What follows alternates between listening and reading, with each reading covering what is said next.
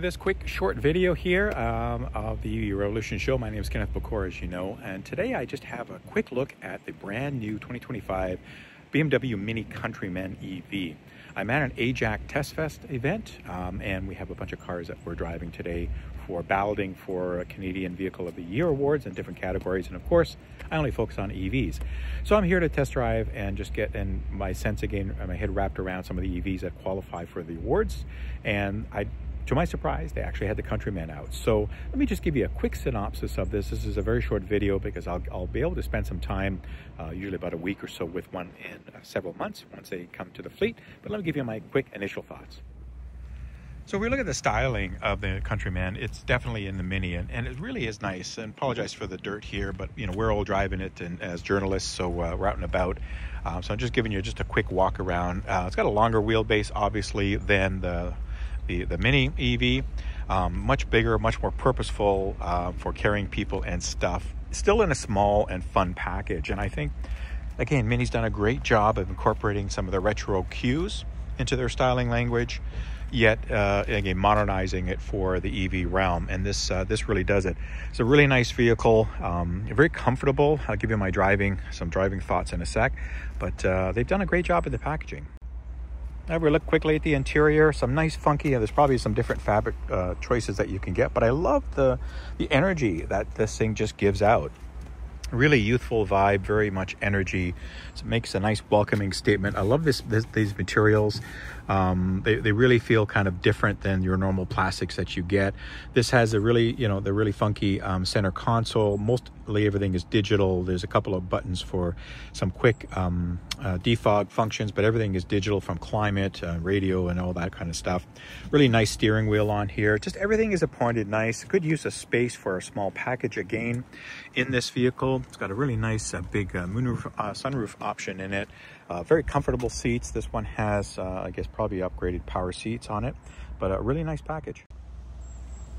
Where things will get a little bit tighter, obviously, is in the rear, but there is room, usable room for some adults here. Five in a pinch, four for sure. I've got the front seat where I would have it. I could probably have it just slightly up a little bit. Got a little long for me. Uh, but as you can see, there's definitely enough leg room in there. Um, even though it has a bit of a center hump, again, you could, four would be more comfortable. Um, you've got a nice center armrest, good use of materials. Again, good use of headspace because of that boxiness of it. Um, you've got that straight flat roof so it doesn't slope down like some of the others. So you've got a good amount of headroom back here to be comfortable and uh, nice appointments. And if we look at the trunk space here, find the button to open it up. Good use of boot space, actually bigger than I thought, again, because of that lengthening of the chassis. Um, you got a good amount of boot space. You've got some under storage here as well for charging cables and some knickknacks.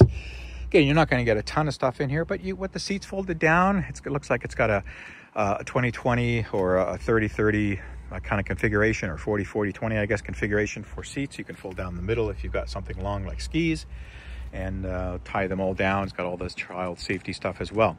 Nice high lift as well, which is adjustable, so easy to get in and out of and put stuff in. They've done a good job. When we look at the front, there is no frunk, uh, just got a nice easy cover access for making things nice and easy to look at. Nothing much really here. All you do is your windshield washer fluid.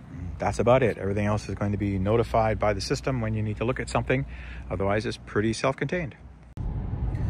So in driving the BMW uh, Mini Countryman here, the EV, the new one, I'm just doing a quick drive. As you can see, the driver's binnacle. I have the um, driver assistant package activated. Uh, it reminds me every 10 seconds or so to make sure my hands are on the wheel, but it's doing the lane keeping and doing distance control. It's a very smooth, quiet vehicle. This is exceptionally quiet. They've done a great job.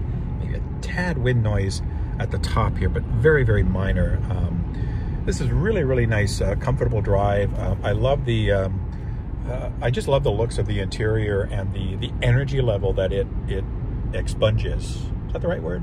I'm gonna try something different today.